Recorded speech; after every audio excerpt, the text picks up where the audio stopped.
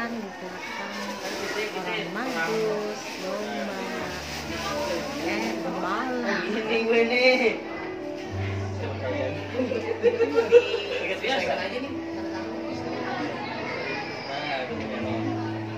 Nggak usah habis ada.